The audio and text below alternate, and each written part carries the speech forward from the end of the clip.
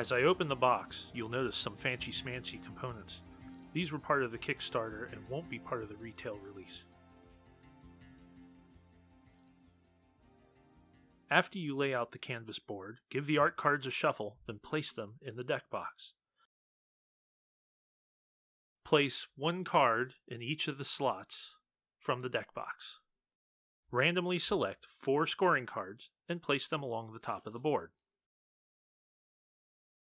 Place a supply of ribbons next to each scoring card that match the space's color. Give each player four inspiration tokens and three sleeved backgrounds. You're now ready to start the game. The object of the game is to create three paintings and to score as many points as possible based on their composition. A painting's composition is determined by the symbols in the color swatches and how well you match them to the scoring conditions. On your turn, you have two possible actions take an art card or make a painting. To take an art card, you simply take it off the board. The card furthest from the deck box is always free to take.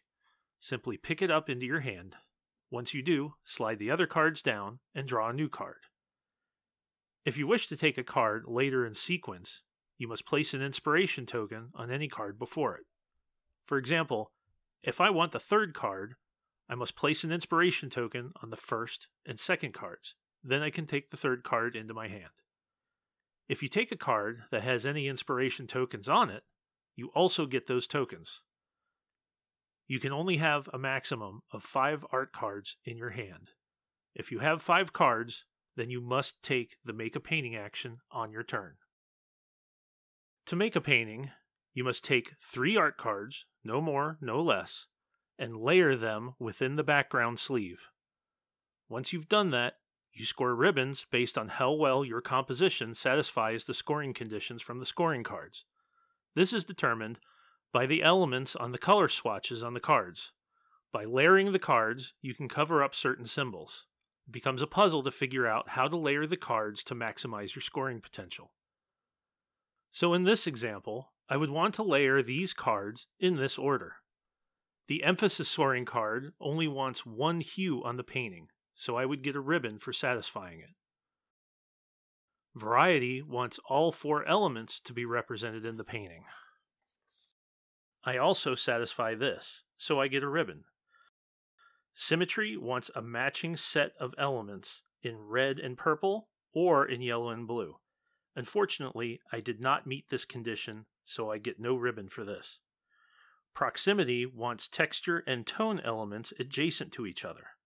I have them in the blue and purple swatches, so I get a ribbon for this. Take note that despite the fact these two elements both appear in the purple swatch together, that does not satisfy the conditions for scoring. They must be adjacent to each other. There are also bonus symbols. These give you bonus ribbons based on how many matching elements are on the card.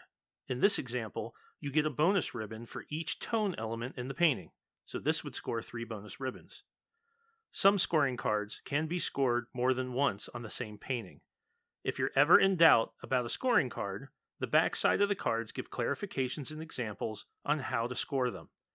When scoring, you must remember that each symbol can only be used to score a card once.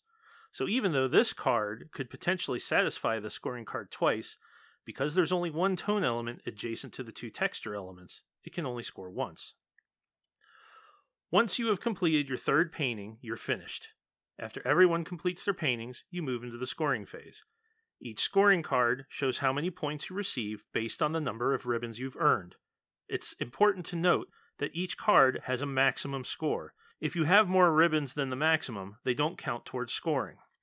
The only exception is the bonus ribbons that are worth 2 points each, and you can have as many of them as you want.